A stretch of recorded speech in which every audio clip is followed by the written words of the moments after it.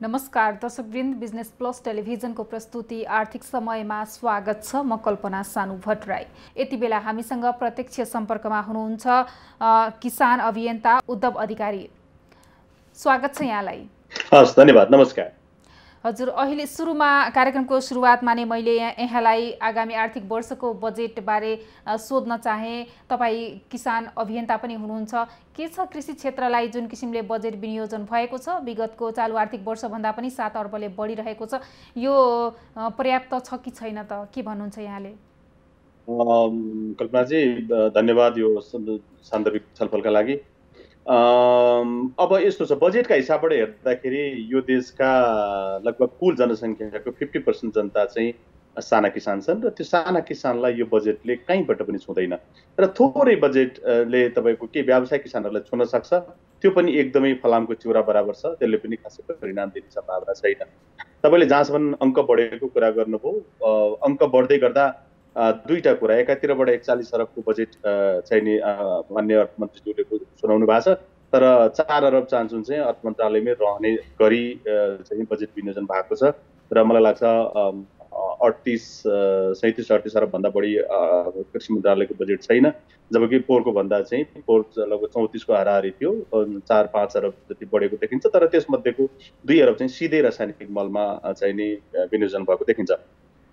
यो हिसाबबाट हेर्दाखेरि चाहिँ र अहिलेको मूल्यवृद्धिका हिसाबले र विविध हिसाबले पनि तपाईँको खासै कृषिमा बढेको चाहिँ भनेर भन्न मिल्दैन र यतिखेर यो जो सन्दर्भ थियो यतिखेर चाहिँ तपाईँको एकातिर कोभिडको चाहिँ विश्वव्यापी महामारी र त्यसबाट आक्रान्त उत्पादक समूहहरू र त्यसपछि चाहिँ विभिन्न हाम्रा नेपाली दाजुभाइ दिदीबहिनीहरू चाहिँ विश्वका विभिन्न कुनामा रहेका दाजुभाइ दिदीबहिनीहरू फेरि पनि नेपाल फर्किने सन्दर्भ र उहाँहरू सँगसँगै खाने मुख र पेटहरू बढ्ने सम्भावना हामीसँगै पनि विभिन्न खालका रोग किराहरू लगायतका बाली वस्तुहरूमा चाहिँ तपाईँको योभन्दा अगाडि फौजी किरा अथवा यो गरिमा धान लगायतका बाली वस्तुहरूमा चाहिँ विविध कारणले नक्कली बिउ कारणले गर्दाखेरि उत्पादन घटिरहेको गत आर्थिक वर्षमा चाहिँ लगभग नब्बे पन्चानब्बे पर्सेन्टभन्दा बढी रोपाइनी गर्न नसकेका सन्दर्भहरूले गर्दा उत्पादन घटिरहेको सन्दर्भ। र जुन खालको तपाईँको यो रेमिटेन्स चाहिँ नि अब अहिले लगभग बत्तिस पर्सेन्टको हाराहारी रेमिटेन्स आइरहेको सन्दर्भ थियो।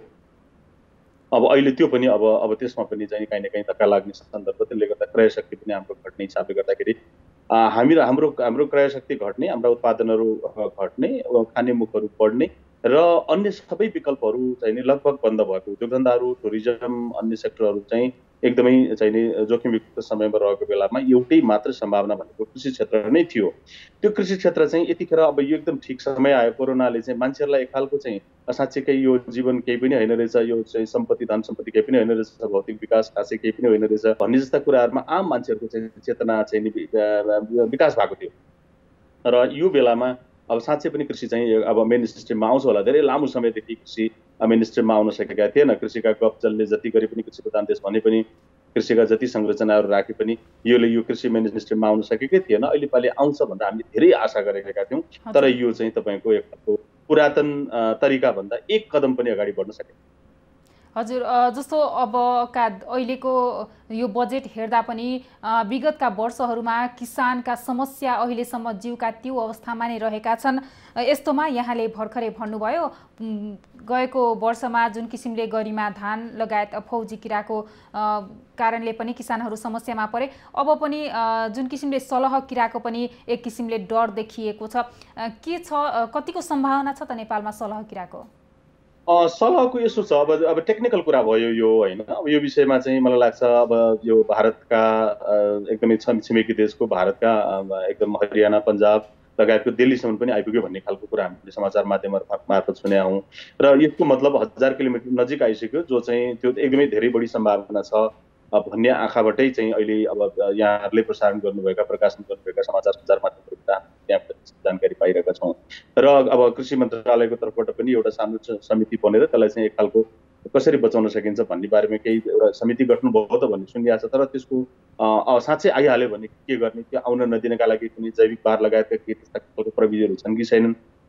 नेपालमा भित्रिहाल्यो भने त्यसबाट कसरी चाहिँ उन्मुक्ति पाउन सकिन्छ त्यसबाट बाली बिरुवा कसरी बचाउन सकिन्छ यदि सकिएन भने त्यसको रणनीति के हो?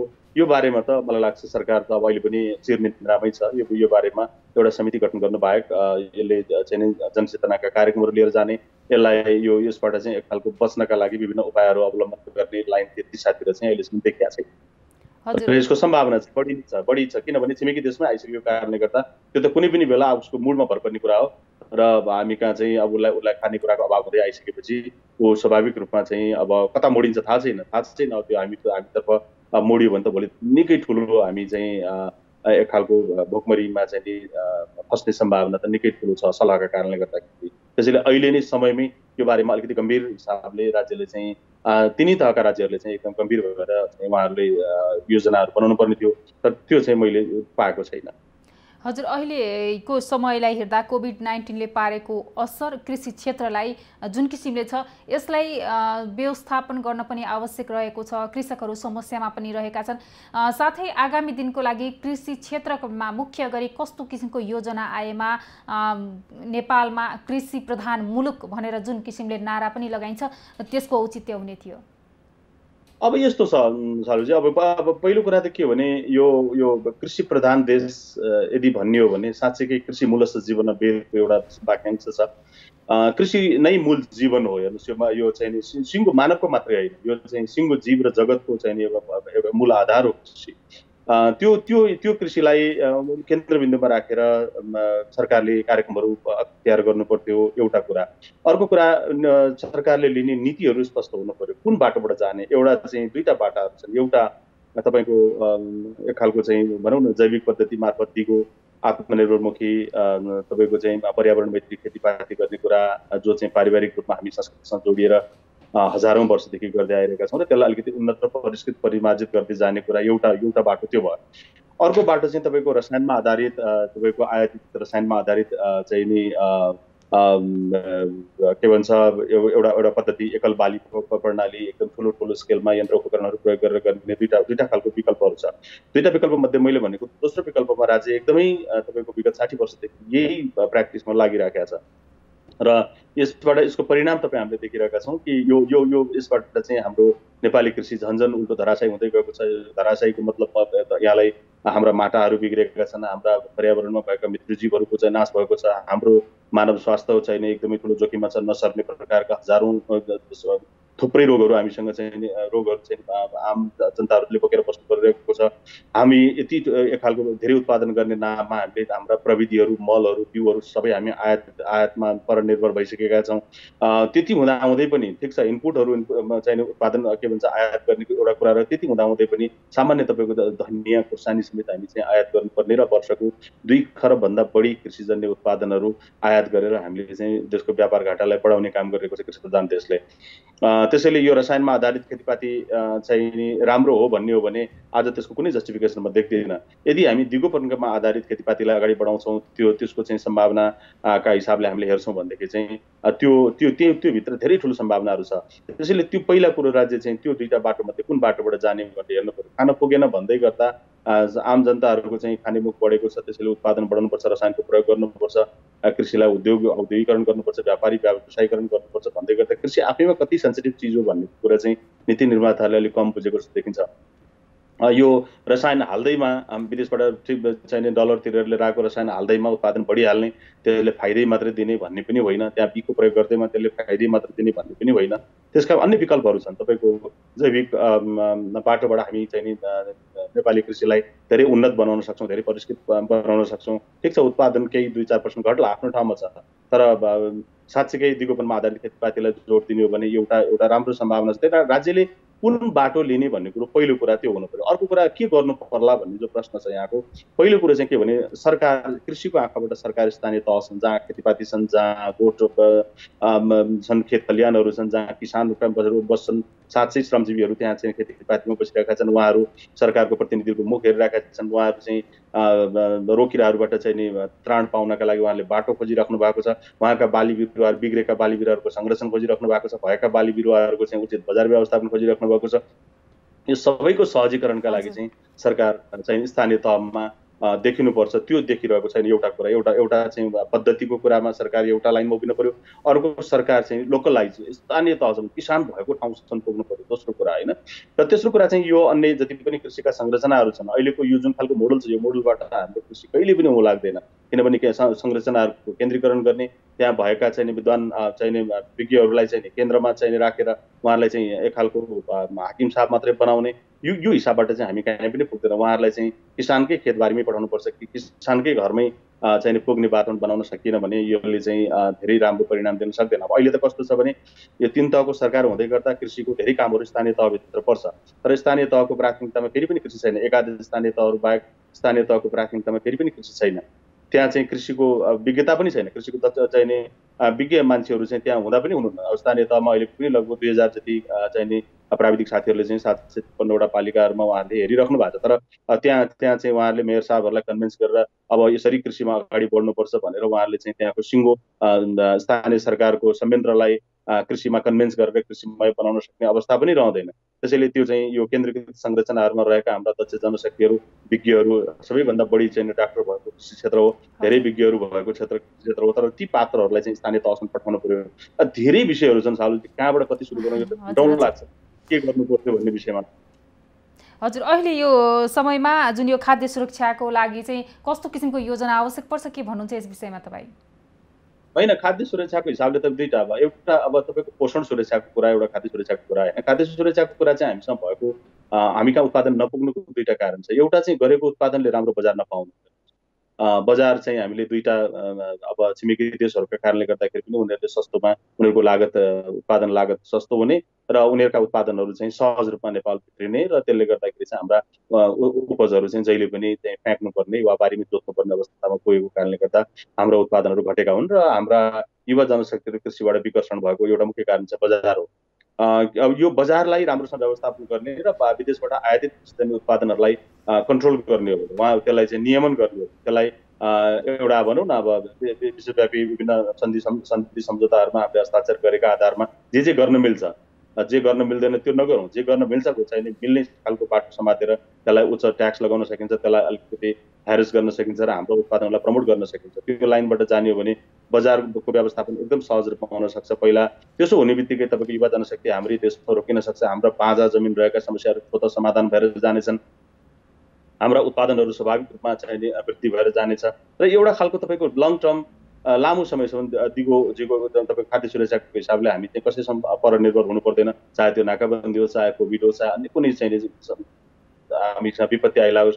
अब अहिले हामी राम राम भन्नुपर्ने एकदमै जहिले डराउनु पर्ने अवस्था चाहिँ आज किन आइरहेको छ भने हामी धेरैभन्दा धेरै क्रिस्चियनहरू आयातमा वस्तुहरू आयात गर्छौँ। हामी हिजो हामीले देखेका छौँ एउटा दुईवटा बाली मात्रै चाहिँ तपाईँको छिमेक देशबाट यता नआउँदाखेरि हाम्रो यहाँ कत्रो हाकार हुन्छ। तपाईँ हामीले भर्खरै सुनिरहेकै देखिरहेकै हो। त्यसैले अब हामी चाहिँ हामी आफैले यसलाई आत्मनिर्भरताको तर्फ चाहिँ आम जनता र किसान उपभोक्ताहरूले पनि यतातिर सोच्नु पऱ्यो भने सरकारले त झन् एकदम केन्द्रबिन्दुमा राखेर चाहिँ खाद्य सुरक्षाको हिसाबबाट पोषण सुरक्षाको हिसाबबाट खाने खाने भन्दैमा तपाईँको जे पनि खानेकुरा महत्त्वपूर्ण कुरा होइन। जे खाने पेट भर्ने कुरा एउटा अतिवादी कुरा हो। तपाईँको पोषणयुक्त खानेकुरा तपाईँको चाहिँ नि स्वस्थकर खानेकुरा सुरक्षित खानेकुरा खानेकुरा कसरी उब्जाउ गर्न सकिन्छ हामीसँग एउटा आफ्नै आफ्नै खालको सिस्टम छ। त्यो सिस्टमभित्र रहेर ती उत्पादनहरूलाई कसरी प्रवर्धन गर्न सकिन्छ? ती यति यति वैज्ञानिक छन् ती उत्पादन प्रणालीहरू ती उत्पादनलाई खाने हाम्रा बानी व्यवहारहरू हरेक चिजहरू चाहिँ हाम्रो पर्व संस्कृतिहरूसँग जोडिदिएको छ। खेती गर्ने आफ्नै संस्कृति छ आफ्नै पर्वहरू छन्। खेतीबाट आएको उत्पादनलाई चाहिँ उपभोग गर्ने आफ्नै खालका पर्व संस्कृतिहरू छन्। यी सबै कुराहरूलाई हेर्ने हो भनेदेखि चाहिँ हामी एकदमै धनी छौँ। तपाईँको हिजो मात्रै हामीले जैव विविधता दिवस मनायौँ। यो चाहिँ त्यहाँबाट हेर्दाखेरि त हामी जति धनी त मलाई लाग्छ विश्वमा कोही पनि छैन जस्तो लाग्छ। हामीले जति पनि हामीले गरिरहेका गतिविधिहरू छन् साना किसानले विशेष गरेर फ्यामिली फार्मिङमा आधारित रहेर जुन खालको खेतीपाती गरिरहेका छौँ त्यो जति तपाईँको दिगो र तपाईँको आत्मनिर्भर खेतीपाती अरू केही पनि हो जस्तो लाग्दैन। तर हामी चाहिँ खालि खाद्य सुरक्षाको नाममा विदेशबाटै आयात गरेर भए पनि जसरी हामीले कर्णालीमा चाहिँ डब्लुएफपीको चाहिँ चामलहरू चाहिँ गाउँ गाउँ पुर्यायौँ भन्ने खालको निकै हामी विवादमा पनि छलफल पनि गर्छौँ काहीँ यो यो सबै हिसाबले हेर्दाखेरि चाहिँ नेपालमा पनि भोलि अन्य कुनै देशहरूबाट भोलि जहाज चढाएर ल्याएका खाद्य उपजहरू खुवाउने भन्दा पनि हामीसँगै भएको हामी हेर्नुहोस् भूगोल प्रकृति हिसाबले यति राम्रो ठाउँमा छौँ।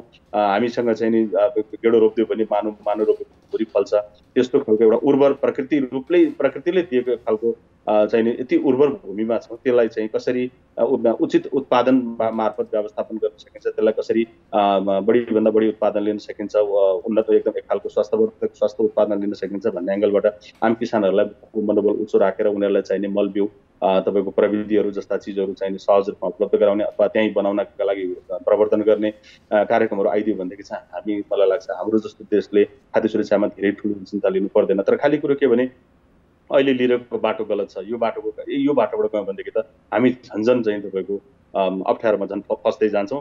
हामी भोलिका दिनमा कृषि प्रधान देश त के? हामी भोलि गएर हामी चाहिँ एक खालको भोकमरीग्रस्त देशको रूपमा पनि परिचित हुन सक्छौँ। यो बाटोबाट गएर हामीसँग भएका बिउ हामी हाम्रो हातबाट कमाउँदै जाने माटोलाई रसायन आयोजित रसायन मार्फत मार्दै जाने हाम्रा पद्धतिहरूलाई लोपोन्मुख बनाउँदै लाने अनि अनि अनि सबै चिज पर निर्भर भइसकेपछि त भोलि त तपाईँको बहुराष्ट्रिय कम्पनीहरूले चाह्यो भने पाउन सक्छन् उनीहरूले चाहेनन् भने नखाउन पनि सक्छन्। भोलि विदेशी दात्री निकायले दियो भने भात खान पाइएला या चाहिँ पिठो खान पाइएला दिएनन् भने भोकै बस्नुपर्ने अवस्था पनि आउन सक्छ त्यसैले पहिलो कुरो चाहिँ दिगोपनमा आधारित र सस्त एक खालको आत्मनिर्भरताका हिसाबले देशले देशले आत्मनिर्भरताको हिसाबले हेर्नु कम्तीमा कृषिजन्य उपज चाहिँ म मेरो देशमा पुग्ने उपज मै उत्पादन गर्छु र म स्वस्थकर उत्पादन गर्छु र म सिङ्गो चाहिने पर्यावरण लगायत जीव जगतलाई म स्वस्थ राखेर म राम्रो उत्पादन गर्छु र म आम जनताहरूलाई पाल्छु भन्ने खालको स्ट्राटेजी चाहिँ पहिला त राज्यले लिनुपर्छ। राज्यले दुईवटा नाउमा खुट्टा राख्नु हुँदैन। उसले उत्पादनका बढाउने नाममा चाहिँ एकातिर चाहिँ भएको सिस्टमहरूलाई ध्वस्त बनाउने र अर्कोतिर चाहिँ तपाईँको भेटेको अनि अनि अनि अवलम्बनै हुन नसक्ने पद्धतिहरूलाई चाहिँ जबरजस्ती रूपमा लाद्न खोज्ने यो दुई यो यस्तो खालको दोधारे चरित्रले त हामी झन् झन् अप्ठ्यारोमा जान्छौँ र खाद्य सुरक्षाको सबैभन्दा ठुलो जोखिममा पर्न सक्ने सम्भावना पनि छ। हवस् त यहाँको समय र संवादको लागि धन्यवाद। हुन्छ एकदमै यो अवसरका लागि यहाँलाई पनि धेरै धेरै धन्यवाद। हस् नमस्कार।